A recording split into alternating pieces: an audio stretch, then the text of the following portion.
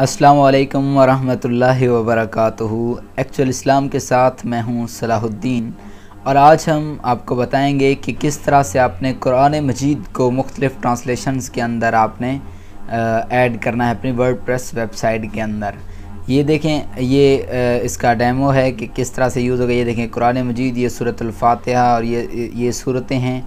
उसके बाद यहाँ पर आपने ट्रांसलेशन सेलेक्ट करना है। यहाँ पर जिस लैंग्वेज में आप ट्रांसलेशन सेलेक्ट करेंगे ये देखिए, इतनी सारी लैंग्वेजेस हैं, उनमें आपने जो है ट्रांसलेशन आप सेलेक्ट कर सकते हैं। फ़र्ज़ के इंग्लिश हम कर लेते हैं तो ये जो ट्रांसलेशन है उर्दू के अंदर, ये देखें, ये इंग्लिश के अंदर हो गई है।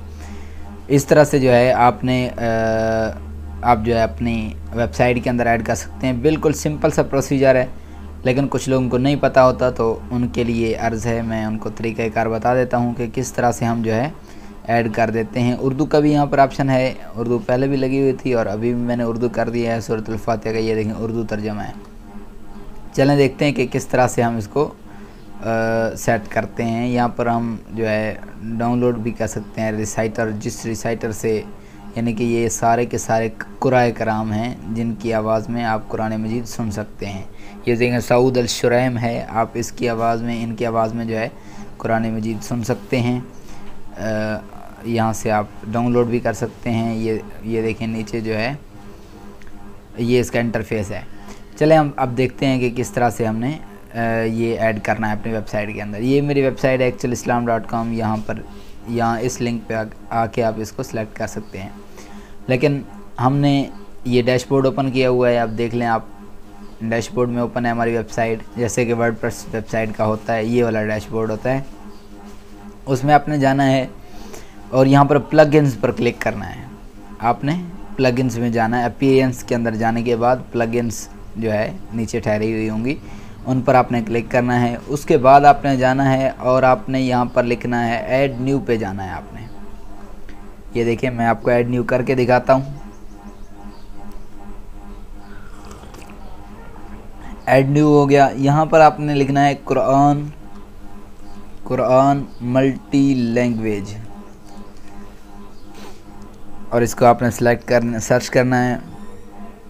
उसके बाद आपको यहाँ पर प्लग इन मिल जाएगा। ये देखें। ये है कुरान मल्टी लैंग्वेज तो ये आपने एक्टिवेट कर देना है। इसको मेरे पास पहले से एक्टिव है। तो एक्टिव करने के बाद आपने क्या करना है?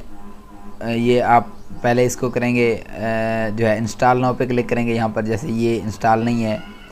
तो इंस्टॉल नाउ पर क्लिक करने के बाद आपने क्या करना है? ये देखिए, मैं आपको ये इंस्टॉल करके दिखाता हूँ। अपने सेम प्रोसीजर करना है। ये देख लें। ये इंस्टॉलिंग हो रही है। इसी तरह से इंस्टॉलिंग होगी। फिर उसके बाद एक्टिवेट का ऑप्शन आएगा तो आपने एक्टिवेट कर देना है।